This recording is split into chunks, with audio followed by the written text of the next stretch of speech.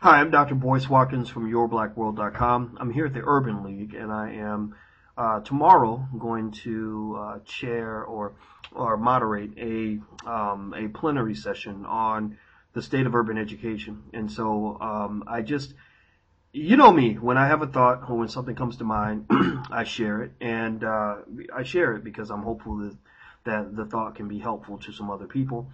Uh, now, this, this issue is also heavy on my mind because I just participated in the film Hoodwinked uh, by Janks Morton, which really dispels a lot of the myths uh, that, that exist when it comes to African American men. Um, and also, I thought about this issue heavily when I wrote uh, my book, Everything You Ever Wanted to Know About College, uh, because I, I, think that education is clearly the dividing line between the haves and have nots. Uh, it is the way out of poverty. It is the way to uh, success. It is the way to strength for black men, and don't let anybody tell you different. Now, the topic that, that came up today was I was speaking to some educators about uh, President Obama's recent announcement that he, uh, in his office, or they're going to create an office for African American education. Uh, it was an executive order, and, um, and, and and I applaud it. I think it's a it's a move in the right direction. It's definitely better than a move in the wrong direction. And but one of the things that um, that concerned me a little bit about the initiative is that number one, it was very vague. Uh, you know, someone frankly told me, and this is an Obama supporter, strong Obama supporter. I'm an Obama supporter too, but apparently being an Obama supporter is not enough for some people. You have to be an Obama fan, which I refuse to be. I'm not going to be a fan of any politician because that's how they manipulate you. Uh, but you know, an Obama supporter and, and former Obama fan, he said I read through his speech at the Urban League, and there was nothing of substance there. He said that you know when when they speak to African Americans, they they tend Obama tends to deliberately avoid being very firm and substantive on issues that affect African Americans. Uh, and the person also said that the, the, that this this educational initiative by the president right before the election was pandering at its finest. That basically uh, the you know you're about to get uh, you're you're about to go up for reelection, so you suddenly pop up and do something that people have been asking you to do for three years, and and really that's um, you know no, no different from a, a man showing up with flowers uh, when he wants to get sex from a girlfriend that he's been uh, uh ignoring for the last four weeks.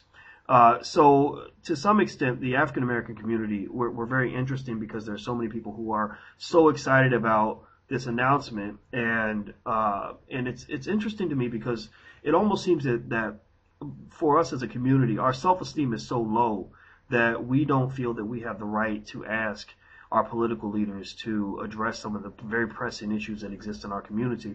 Uh, in a way, you can really can compare us to that woman who is looking for anything that will tell her that this horrible man loves her, or that the man, that, or that that a man loves her when he hasn't been acting as if he does love her.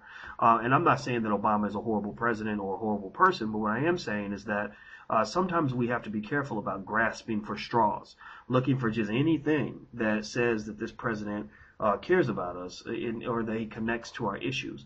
Um, I think that he does care about us to a point, but what you care about and what you believe is very different from what you do.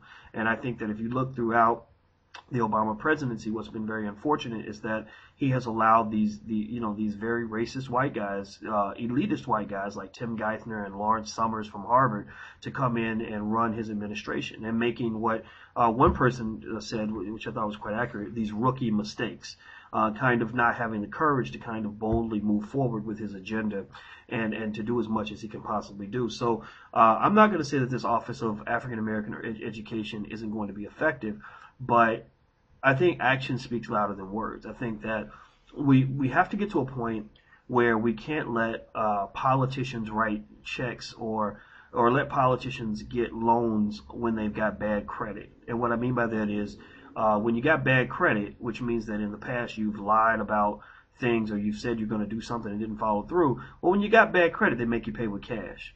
And so, in the same case with politics, we have to have politicians pay with action, not with words, not with rhetoric, but with actual action. So, uh, I don't believe in this Office of Urban Education or African American Education, not because I don't care about the issue or not because I don't believe them per se, or not because I don't believe they'll ever do anything, but it's mainly because I need to see action and I'm tired of hearing words. And I think that uh, we should all consider that perspective as well.